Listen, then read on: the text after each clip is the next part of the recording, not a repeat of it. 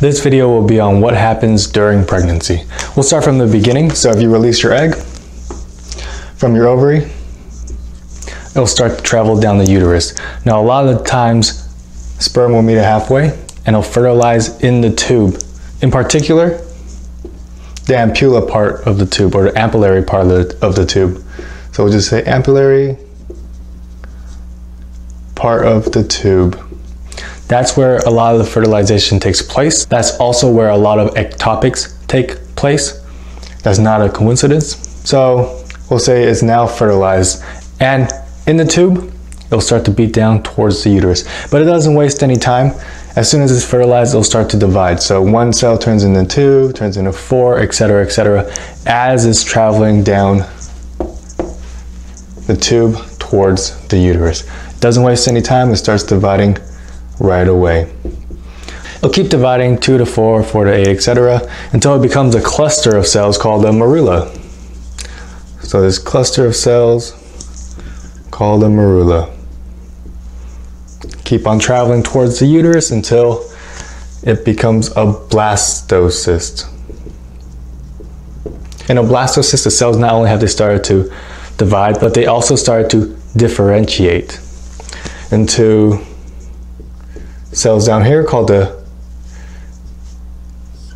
inner cellular mass or ICM, and then on the cells on the outside called the trophoblast. And those two things, the trophoblast and the ICM, make up your blastocyst. At around day six, I'll say day six, your blastocyst will stick to the uterus and implant.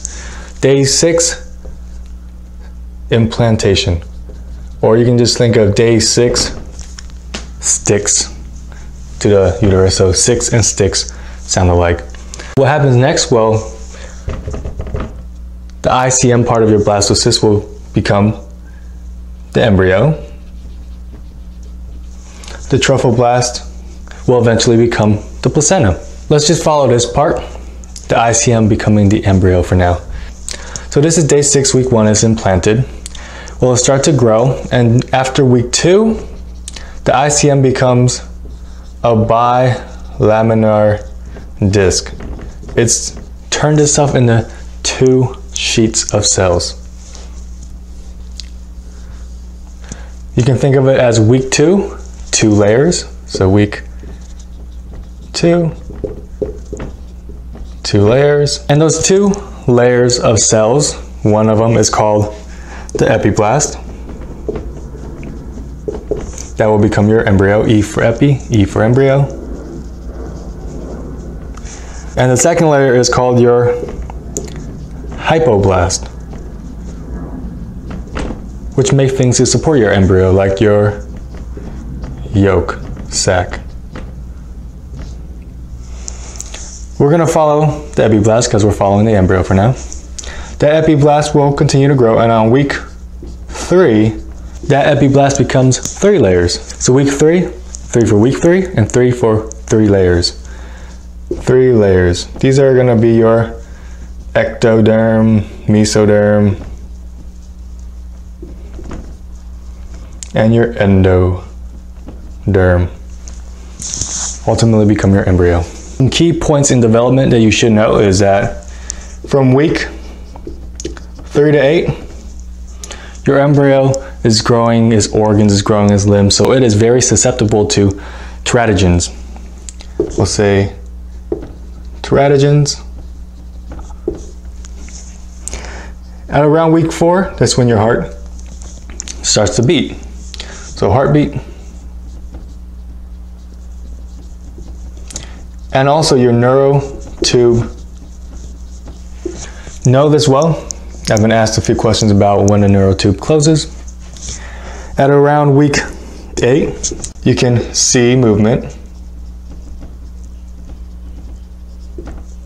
on ultrasound. Week 10, sexual characteristics start to develop so you can find out the sex of the baby. Those are just some landmark times that you should be aware of. That is what happens to your intercellular mass. That becomes a bilaminar disc, which eventually becomes three layers your endoderm, ectoderm, mesoderm, etc., and becomes your embryo. That's your intercellular mass. Let's now move on to the trophoblast, the outside layer, the cell that's going to become your placenta. It's put on the outside because it will eventually need to infiltrate the endometrium, invade the endometrium, and look for blood supply.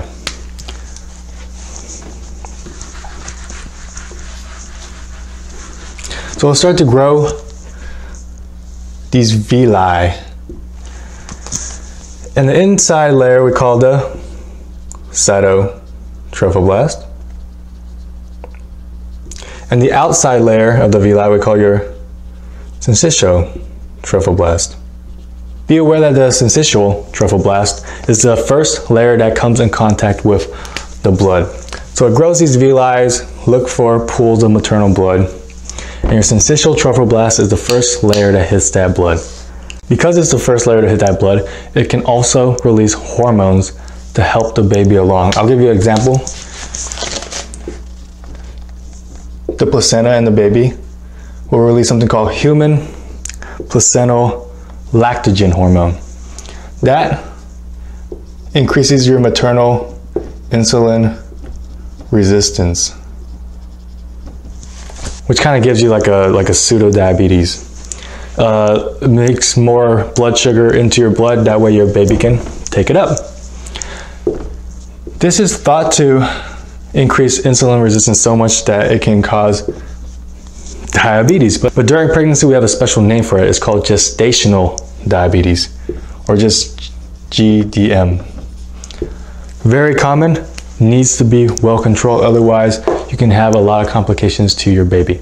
So that's human placental lactogen, but maybe the most common or the most well-known hormone that your syncytiotrophoblast can produce is beta HCG or human chorionic gonadotropin. What that does is that it binds to the LH receptor of your corpus luteum. Tells it not to degenerate just yet. We still need the corpus luteum to produce progesterone to maintain the endometrial lining for us to grow and for us to thrive. So tells the corpus luteum, we still need you. Don't go just yet. This is the hormone that we measure in pregnancy tests. We said it, the blastocyst implants on day six. As soon as it implants, it starts to make these villi, make these hormones, and we can measure it one week or after day six in the blood. Or if you want to do a urine test to measure this, it's a little less sensitive, so it takes about two weeks before we can measure beta HCG in the urine. In urine. Beyond just measuring it to confirm or deny pregnancy, uh, high levels or low levels of beta HCG also um, indicate pathology. We're going to talk a little bit more about pathology in pregnancy in our next video, but just know that if the levels are way too high or way too low, then it indicates that there might be something wrong. How does beta HCG bind to LH receptor? They're not the same hormone. Well, beta HCG has two subunits. It has an alpha subunit and a beta subunit. Beta subunit is what we measure in your urine, in our urine test just to see what levels of beta HCG are there. Alpha subunit, on the other hand, shares is chemically very similar to LH. That's how it binds that receptor. It's also similar to FSH, and more importantly, it's similar to thyroid stimulating hormone or TSH. So levels of high beta HCG can actually cause hyperthyroidism. Important that you know that. That's your intercellular mass making your embryo. That's your trophoblast making your um, villi, eventually your placenta. And we talked a little bit about the hormones it produce. I just want to touch on, I guess, general hormones of pregnancy. That's not related to your villi, but just, I guess, made in pregnancy that you should understand the physio of and why they're made in the first place. For example, prolactin. Prolactin helps milk production. And it also blocks GnRH. This is what suppresses your cycle, your menstrual cycle after pregnancy. It's somewhat nature's uh, birth control.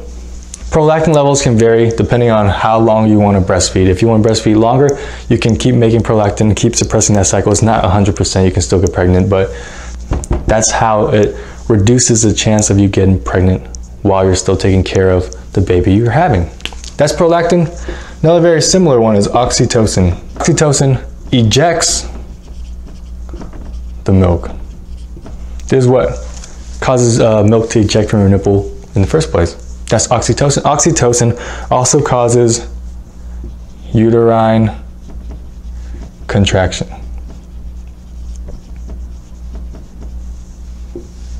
So when you're nearing the end of your pregnancy, start to cause uterine contraction, help you deliver. And then after you deliver the baby, it'll help you eject the milk. Oxytocin is one of the most widely used drugs in OB/GYN because it causes uterine contraction. If we want to induce labor, we give oxytocin. All right, now some pharmacology while we're talking about it, since we're talking about oxytocin. We can give other things that cause labor or induce labor. One of these is dinoprostone, which is a prostaglandin, PGE2. This induces labor, induce labor. It can also be used for medical abortions, so abortions. So we talked about two things that induce labor. Is there something that reduces contractions? So the things that can reduce contractions are going to be your terbutaline or your ritodrine. And both of these are beta 2 agonists or mimetics. They bind to beta 2 and causes relaxation of the uterus. Relax uterus. One of the most common reasons we give tocolytics is if a mother comes in with premature labor and we want to buy some time to give the mother some corticosteroids, help the baby's lung mature before we deliver. So those are tocolytics. A side effect of these is reflex tachycardia or hypotension. Why is that? Well, beta-2 mimetics causes relaxation of your smooth muscle, of your uterine muscle, also causes relaxation of your blood vessels. And that can cause um, drop in blood pressure. Your body realizes that and tries to maintain its cardiac output by increasing your heart rate. So you get reflex tachy. That does it for just a physio of pregnancy. Want to give a quick review of that before we get into our next video, which is pathology of pregnancy. See you next time.